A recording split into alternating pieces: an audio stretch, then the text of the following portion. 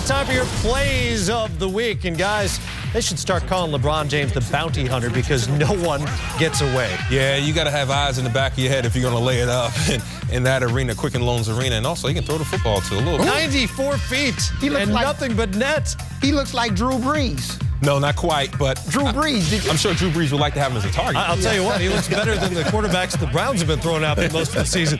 Number four tie game against the 76ers, it's Jason Terry. You know all about Jet. Yeah, the jet was on the runway. That's one of his favorite spots in clutch situations. Caron Butler. but oh, okay. Little Pistol Pete Maravich. UConn in the Oh, house. yeah, around the back once, around the Back. back twice. And actually, Brendan Haywood's been playing very well this season, rebounding and blocking shots. Chris Bosh, no. DeMar DeRozan, yeah.